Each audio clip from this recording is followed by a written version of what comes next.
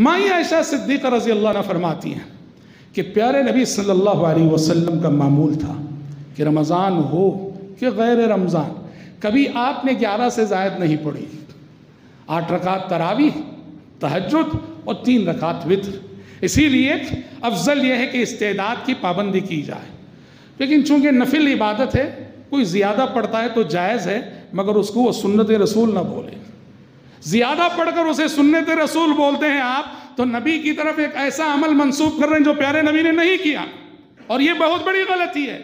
इस असल चीज़ ये है, आपने जो तदाद जिसका अहतमाम किया, उस तदाद का अहतमाम किया जाए, उस तदाद की पाबंदी की जाए।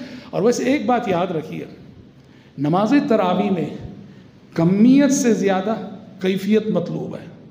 क्या मतलब? कितनी पढ़नी चाहिए इससे ज़्यादा अहम यह है कि कैसी पढ़नी चाहिए। यह ज़्यादा अहम है।